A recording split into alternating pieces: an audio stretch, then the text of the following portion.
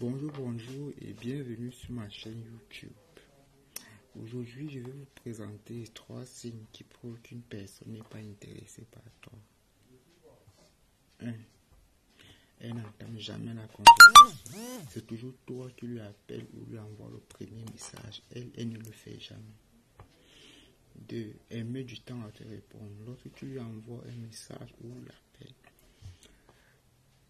elle met du temps des heures à te répondre. Son argument, c'est qu'elle n'a pas le temps. Non, une, ce n'est pas une question de temps, c'est une question de priorité.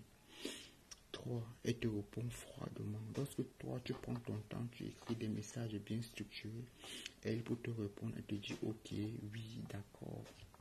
Alors, si tu es encore dans ce genre de relation, sache qu'il est temps d'arrêter parce qu'en 2024, nous ne devons plus muito